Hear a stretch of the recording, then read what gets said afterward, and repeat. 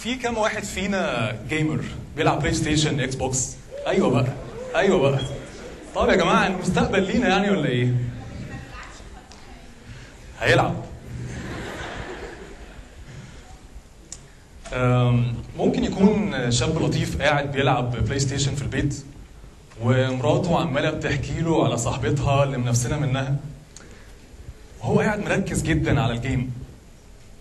الشاب اللي هو مش بيركز في أي حاجة في حياته ولا بيركز في محاضرة ولا بيركز في توك بيسمعها ولا بيركز مع حد. قاعد مركز ومبسوط تماما عن العالم علشان فيديو جيم متصمم صح. وهي عمالة بتحكي له على صاحبتها نفسنا منها. والواطية. هو آه الواطية. هو أصلا مش سامع أي حاجة. الفكرة كلها إن ال video games التصميم بتاعها فيها عناصر محددة بتخلي الناس مذهوله عن العالم ومركزة 100% مع الشيء ده. إحنا جايين نتكلم على العناصر دي علشان إحنا ممكن نستخدمها في مجال تاني غير ال games وهنا ممكن نعرف يعني إيه gamification ال gamification هو استخدام العناصر اللي بتخلي الناس مركزة مع ال video games وبترجع لها كل شوية. نستخدم العناصر دي في حاجة تانية في حياتنا. شيء مفيد شيء مهم. هضرب مثال سريع. فندق ال Marriott عمل game اسمه My Marriott Hotel وده application أي حد فيها عاوز يشتغل جوه ال Marriott بيلعب ال game ده. ولما بينجح في ال simulation ده بيتعين جوه ال Marriott فهو game الهدف منه مش التسلية مش ال entertainment هو game هدفه business بحت. وهو إن أنا أعين حد موهوب جوه الفندق بتاعي. ده اسمه gamification وطبعا زي أي حاجة في الدنيا ال gamification وال games ليها مميزات وليها عيوب. لكن تعالوا نركز على الحاجة اللي هتفيدنا في ال talk بتاعتنا النهارده. في قصة حقيقية حصلت في أمريكا في كولورادو. البطل بتاعها طفل عنده 10 سنين اسمه جريفن ساندرز. الطفل ده كان راكب مع جدته بنقضيها الصحة كان عندها 74 سنة بتسوق العربية وكان معاهم في العربية أخوه تاني عنده أربع سنين. فاللي حصل إن هي فقدت الوعي. وجريفن في ثانية مد إيديه ولحق العربية وجابها على جنب الطريق بتحريك الدركسيون ولما البوليس جه عندهم البوليس بيجي ف بيسألوا أنت إيه يا معلم أنت عملت إزاي الحركة دي؟ قال لهم اتعلمتها في Mario Kart لعبة Mario Kart ده اللي عند جريفن ده اسمه fluid intelligence ال fluid intelligence ده هو إن هو اتعامل مع الموضوع على إنه simulation هو شوفه شافه في ال game بتاع ال Mario Kart ما كانش فيه أي panic ما كانش فيه أي فزع. هو كان بالنسبة لجريفن هو كان بيلعب. ف this kind of fluid intelligence لو أنا استخدمته في حياتنا بشكل يومي ممكن أحل بيه مشاكل بتواجه البشر. طيب في كم حد فينا دلوقتي حالا عنده game على التليفون بتاعه؟ Candy Crush أيوه بقى أيوه بقى. طيب يعني إحنا gamers already إحنا already عندنا the personality the identity of the gamer. تعالوا نشوف إزاي ال games بتشدنا قوي كده. الموضوع في chemical reactions بحتة بتحصل في عقلنا وعقلنا بيتكلم مع جسمنا ب signals اسمها neurotransmitters دي chemicals ال chemicals دي فهمها كويس قوي. ال game designers وأبدعوا إن هم يستخدموها جوه تصميم ال games بتاعتهم. أول حاجة لما أنا بلعب game ويحصل عندي progress يحصل تقدم عقلي بينزل حاجة اسمها دوبامين drip drip دوبامين وده ال happiness hormone ده نفس الهرمون على فكرة اللي بيطلع لما حد بياكل شوكولاتة. في حد هنا معانا أي حد chocoholics؟ Ladies طبعا. مراتي بتحب الشوكولاته جدا. كل شوية شوكولاتة دوبامين شوكولاتة دوبامين فده بيخليني addicted للعبة. طب لو أنا جامد في اللعبة دي ووصلت لمستوى عالي بقى ليا مكان في الصدارة وال leader boards هيطلع هرمون تاني اسمه السيروتونين. ده بيخليني حاسس بالفخر وعلى فكرة السيروتونين هو اللي بيخليني عندي mood stability فأنا بقى عندي addiction لل game عشان السيروتونين جرعه السيروتونين. مش كده وبس؟ ال games بيكون فيها قصة narrative ولو القصة دي قصة حلوة بيطلع جواها هرمون اسمه الأوكسيتوسين. ال cuddling hormone الموضوع كبير. لما يطلع أوكسيتوسين بصدق اللعبة أكتر والتركيز اللي فيها بيعلى أكتر. وطبعا ده بيخدم مصلحة الشركة اللي عاملة ال game في الأساس. كده إيه؟ كمان أوكسيتوسين. مش كده وبس اللي بيخلي حد يلعب ال game ساعة واثنين وثلاثة ويشتغل overnight إن بيطلع عنده حاجة تانية اسمها اندورفينز لو حد فينا athlete runner عارف كويس قوي يعني إيه اندورفين هو ده ال chemical اللي بيخليني أكمل my second wind أكمل مرة كمان أكمل game كمان ساعة كمان كمان episode من Game of Thrones endorphins فتخيلوا كل ده. اندورفينز اوكسيتوسين سيروتونين دوبامين فبالتالي عقلي بقى addicted لل game ده وعاوز يلعب أكتر علشان الجرعة دي. طيب طالما الموضوع بالقوة دي أنا ممكن أستغل ال addiction ده في حاجة مفيدة. ودي حاجة فهموها ال gamifiers اللي بيشتغلوا في شركات كبيرة دلوقتي. هضرب مثال ل gamification examples حد فاهم الكلام ده واستخدمه في الخير مش بس في ال entertainment في بحث على فيروس الإيدز على حاجة محددة اسمها ال M-PMV virus. البحث ده أخذ 15 سنة وما خلصش 15 years. خلي الرقم ده ي sink in شوية.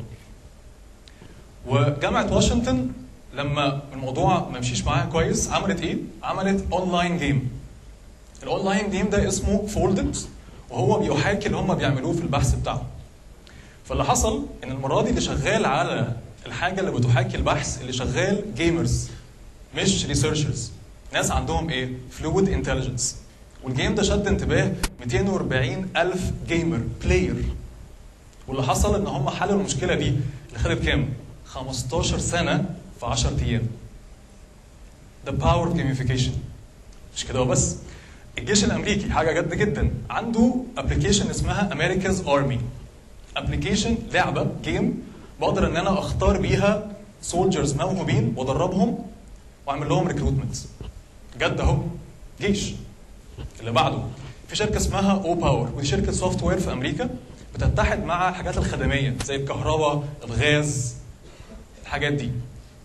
وبيعملوا زي مسابقات في ال neighborhood ما بين السكان.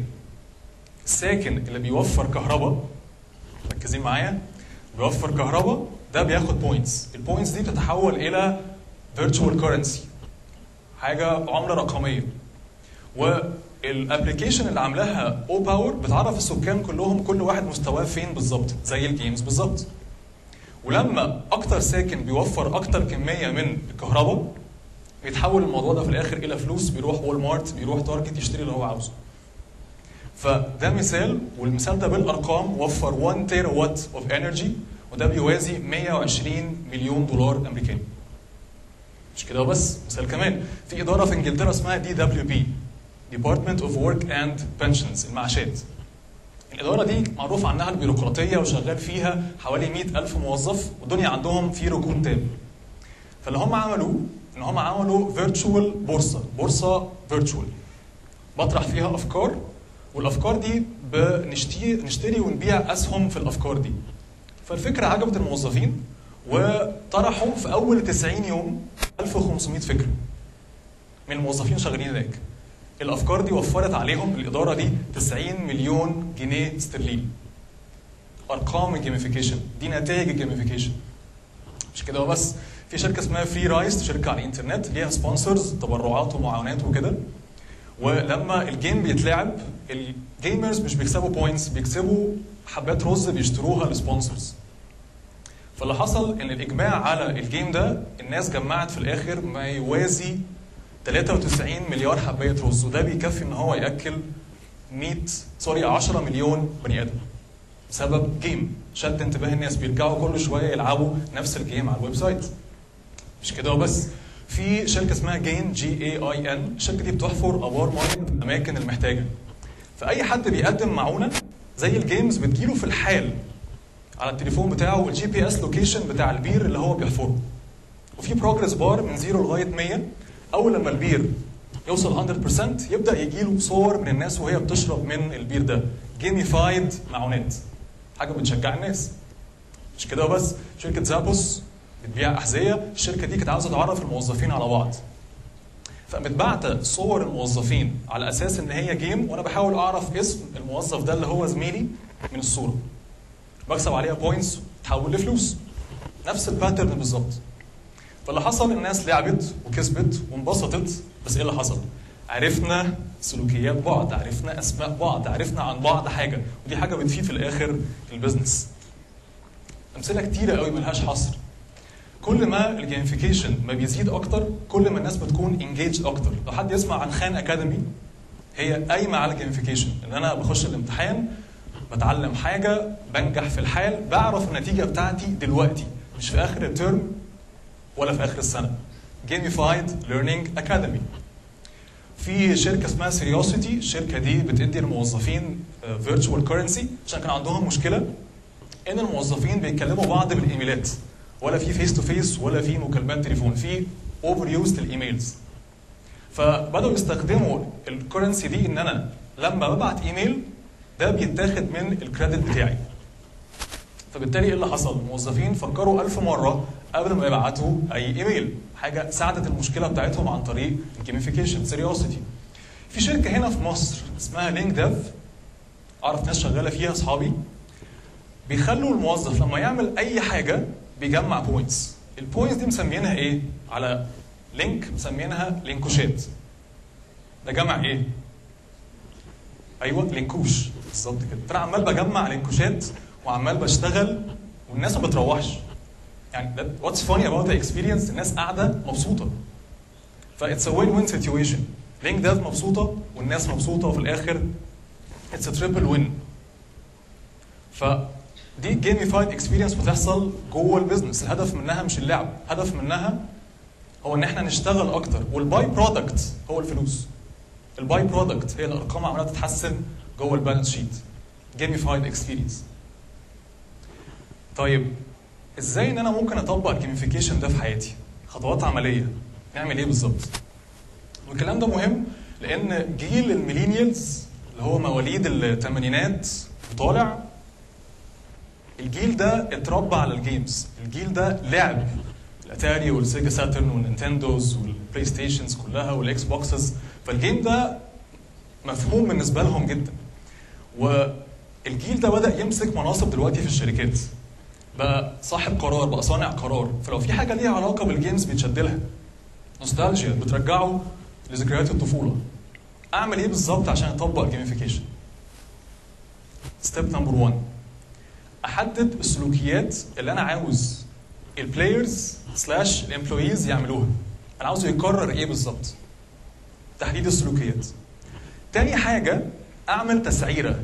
أعمل لكل سلوك points معينة. السلوك ده ب 100 point السلوك ده ب 200 وهكذا. زي ما أنا عاوز انه سلوك يتكرر. ياخد score أعلى.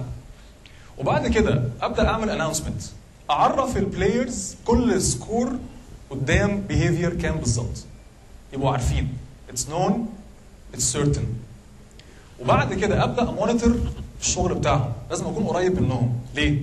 علشان لما حد يعمل حاجة يعرف في الحال نتيجة الأكشن بتاعه. يشوف النتيجة دي في ال scoring system بتاعي.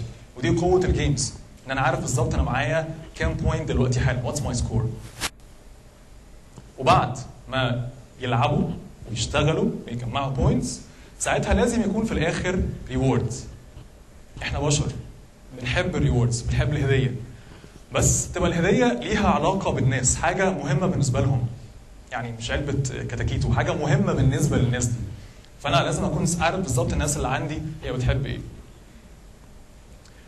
طيب مثال لحد طبق الخطوات دي. ممكن parents أب وأم يعملوا الكلام ده في التربية. إزاي؟ هتكلم مع أولادي أحترم عقلهم وأقول لهم آه اللي هيعمل سريره 50 point اللي هياكل الأكلة الفلانية 100 point اللي هيعدل المكتب بتاعه 2000 point اللي هياكل سبانخ 10000 point عشان بكرة السبانخ. والأولاد يبقوا شايفين على الحيطة كل حاجة certain كل حاجة clear اللي أنا بعمله ده إيه هي ال reward بتاعته؟ إيه هي ال points بتاعته؟ فأنا عندي feedback loop شغال. دوبامين دوبامين دوبامين. challenge achievement challenge achievement addiction ان هم يكونوا أحسن. فبالتالي لما كل واحد عرف هو بيعمل إيه بالظبط هو بدأ يبقى أحسن. فأنا as parent بقيت مبسوط وthe by-product هو the better behavior ده استخدام. ممكن أستخدم ال gamification في جامعة عين شمس. في ال education في المدرسة. إزاي؟ دكتور فاهم القصة دي. متفق معانا. على إن في إحنا فرق جوه جوه الدفعة وما بيننا competition طبعا. طالما في فرق يبقى في competition ويبدأ إن هو يوزع علينا behaviors معينة هو عاوزنا نعملها. نعمل assignment حاجة في وقتها نقرأ حاجة submission لحاجة كل حاجة عليها point وإحنا عارفين ال progress بتاعنا عن طريق application معانا كلنا حتى لو كانت واتساب group مش لازم حاجة يعني super fancy وكل واحد عارف بالظبط إحنا كفرقة جوه الجامعة معانا كام point وفي الآخر خالص في جايزة ممكن يكون تكريم من الدكتور ده أو إن هو يظبط إن الناس اللي كسبت تروح تقابل عميد الجامعة. أي حاجة مهمة بالنسبة للناس. هسأل الناس what's important for you journey كاملة engagement and motivation. من أكبر المشاكل اللي بشوفها جوه ال corporates في مصر وده شغلي for 12 years الناس ما عندهاش motivation. They are not motivated. كل واحد بيروح يسحب رجليه عشان يروح الشغل. فلو أنا قدرت أعمل الكلام ده فأنا بشد الجيل اللي هو أصلا gamers اللي على التليفون بتاعه دلوقتي games بيلعب بيها و it is engaging بالنسبة له. حاجة أخيرة أحب أقفل بيها ال talk دي وهي إن أنا ممكن أتعامل مع الحياة على إن هي game زمان لما كنت بلعب game وأنا صغير ولما كنت بخسر كنت sore loser أرمي ال joystick وأقوم زاقق أخويا وأقوم عامل مش عارف إيه. very sore loser لسه لسه not mature enough لغايه دلوقتي لسه بلعب strategy games ستار كرافت وخلافه.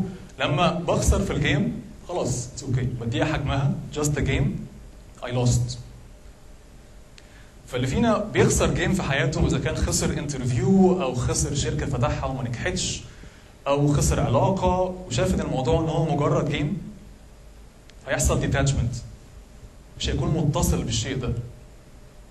عشان هو مجرد game ال games بتعلمنا أي حد فينا بيلعب game خصوصا ال fighting games كلها intervals صغيرة.